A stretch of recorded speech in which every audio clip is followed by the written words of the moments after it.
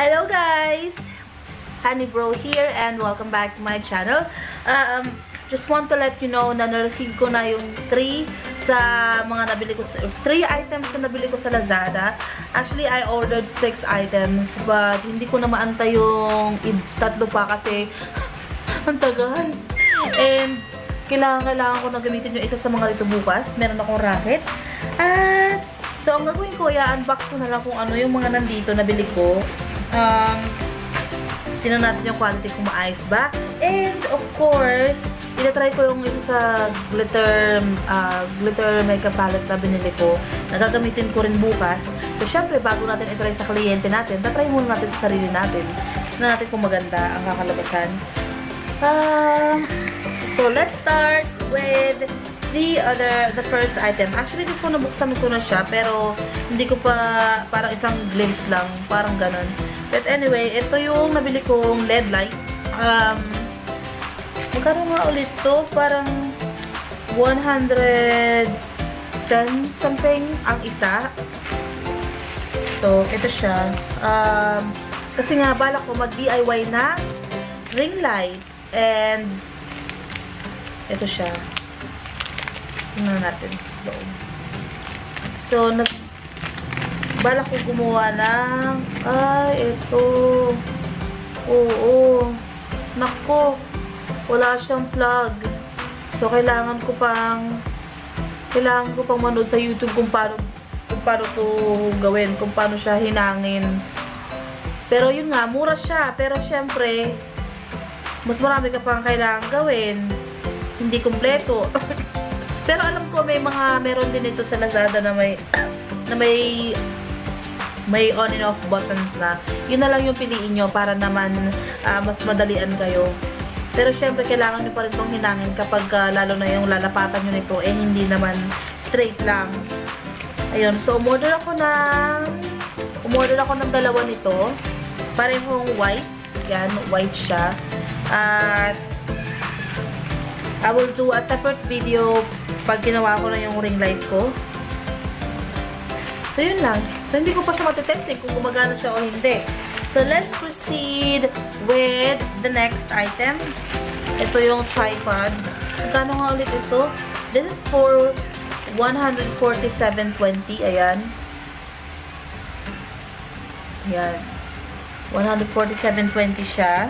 Siyempre, murang-mura. Tingnan natin ang quality. Di ba nag-sale sa Lazada na nakaraan ng 11.11 something? So, ito na siya. Puntang ngayon. Puntang Mm, wait lang. Medyo, asa na ba yung gunting? Dapat pala nag-ready ako ng gunting. Anyway. Yan. so, may tripod na ako. Yan. Uy. Um, okay naman. Okay naman siya.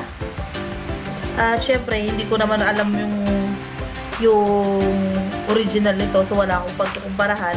Pero, as long as it do its function, di okay lang. Ito siya, guys.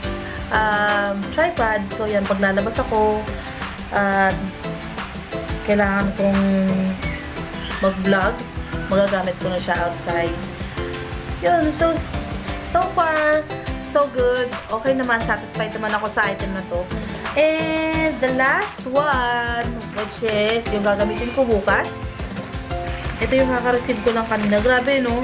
Parang yung isang item yung last ko pa nabili yan eh. eh last ko pa na-receive. Tapos, ito, kanina lang. Sana pwede yung, ano, no? Pwede yung isang purchase lang tapos isang link mo lang makukuha sabay-sabay na lahat. Pero syempre, yun nga ang yun ang isang disadvantage ng um, online purchase. Kasi syempre hindi naman sabay-sabay darating ang mga items na nabili mo. At hindi mo rin makikita yung item. Pero the good thing is you don't need to go to the store. Hindi mo na kailangan mamasahe. So syempre may pros and cons din. But eto na yung laman niya. Cute oh. Talagang sobrang safe. Bukod sa nakabubble wrap na siya. Yan nakabubble wrap na siya. Eh meron pa siyang styro Ah. Sana maganda sana maganda yung quality nito. Saan ba yung bakery ito? Yan na. Ay! And the struggle's real kasi hindi naganda ng gunting. Siya nga. Ah.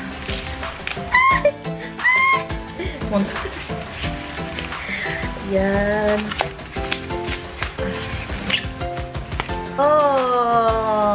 ganda niya guys. Tingnan niyo oh. Parang ang social lang ng balot niya. Ayan. Ayan.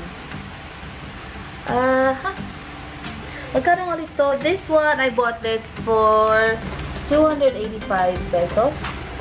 Ayan. Ayan siya. Yan. And, let's see.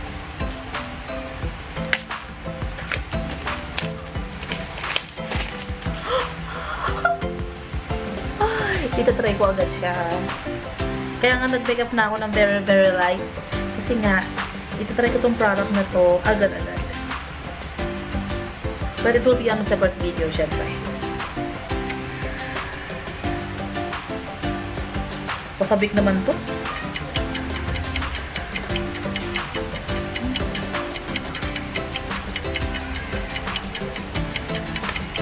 Yan.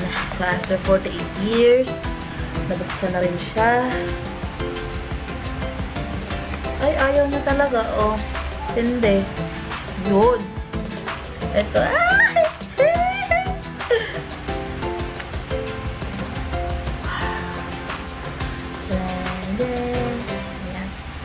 Ayan siya, guys. Ang ganda, di ba? Patay ko kaya ito. Pwede kaya? Anyway, ayan siya, guys. Ang ganda. Ang ganda. Yung item. Ngayon, swatch ko ba to? Parang sayang kasi. Ay, hindi sa lahat glitter. Kasi dun sa picture, parang feeling ko lahat glitter. So, hindi hindi siya glitter lahat. Ito lang yung glitter sa baba. Ayan.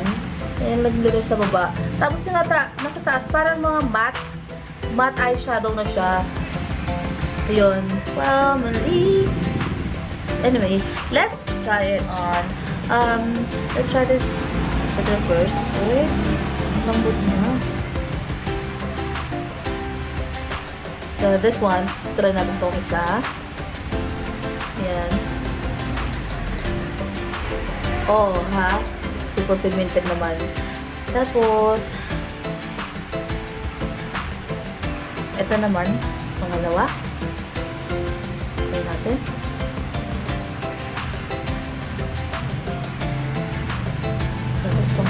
So, para lang siyang makeup makeup na parang wax base. Tapos, tinag marami lang siyang glitter. M&M. Madurog-durog na glitter. Yan.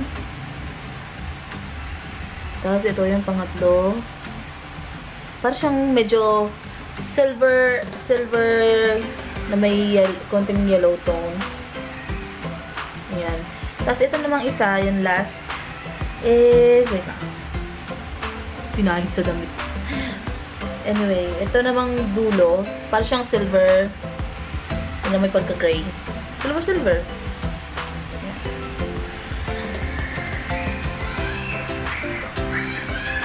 Oh, yan. Ito siya. Tapos, yung sa sa matte naman sa taas. Siyempre, powdery. Ito, itong una muna niya dito.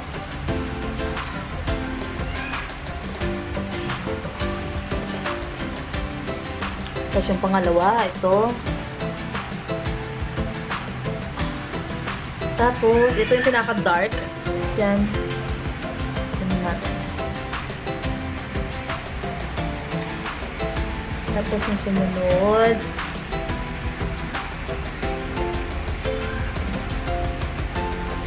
So, all in all, okay naman. Siyempre, at ang maganda rito, walang masyadong so, ano, maganda rito sa mga matte taas niya. Unlike yung isang eyeshadow na sa Lazada rin, um, masyadong powdery, tapos ang daming fall off. Ito, hindi. Itong, ito na, ito na ako sa part na to. So, we're done with four. Actually, ito na para sa dulo. Itong kulay, parang baby pink na to. This one. So, this one. Yan. Let's see. Yan. Yan yung mga kulay niya, guys. So, syempre, gusto kong gumawa ng maraming klase ng eyeshadow uh, makeup using um, using this. Sana maganda yung kalabasan. Tatry ko na siya maya-maya lang. So, yes. Yun lang muna ngayon. Um, ito yung nabili ko. So far, so good. This one. And the last one is the LED light. Yeah, silang tatlo muna. Sana, um, the next items, alam ko may isa pa dun yung mga makeup brush, makeup brushes, tapos yung sponge, makeup sponge, and the last one, kalimutan ko yung isa eh. Ay, ayun pala, yung um, body paints. So, order ako noon. Siyempre, gusto ko mga drawing-drawing sa mukha, ganyan. Uh, magagamit ko rin yun. So, that's it for today. Um, I'm gonna upload another video, another separate video using this. Um, abangan nyo guys. And thank you for watching.